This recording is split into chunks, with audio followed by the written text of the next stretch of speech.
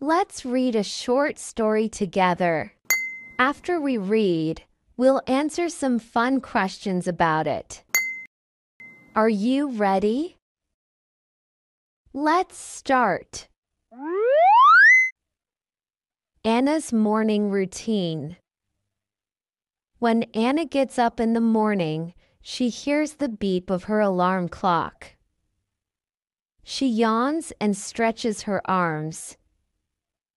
Then she hops out of bed and puts on her slippers.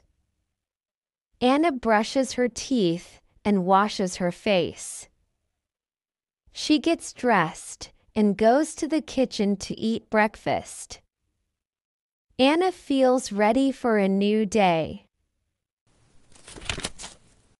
Comprehension questions 1.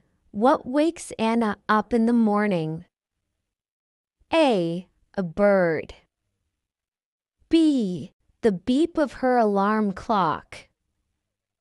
C. The sun.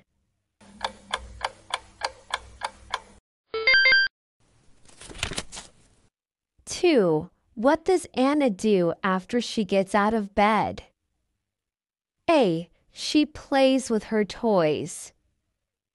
B. She puts on her slippers. C. She goes to school.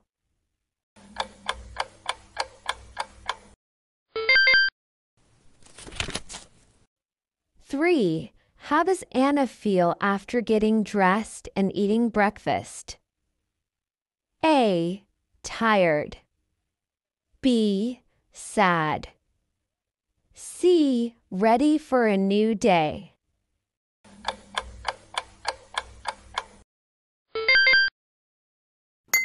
Great job!